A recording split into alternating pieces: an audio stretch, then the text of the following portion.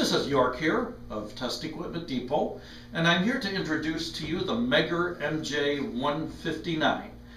Uh, this is a compact, self-powered, high resistance and insulation tester for all of your insulation testing and breakdown testing needs. First of all, there are no scale multipliers, so it's very easy to read. You have multiple selectable test voltages for spot and step voltage testing and for selecting your breakdown voltage you want to test.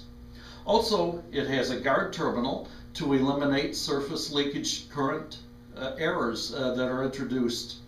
So this is a very nice instrument here. It's very portable, requires no batteries and electricity, and it's by Megger. Thank you for watching. This is York of Test Equipment Depot.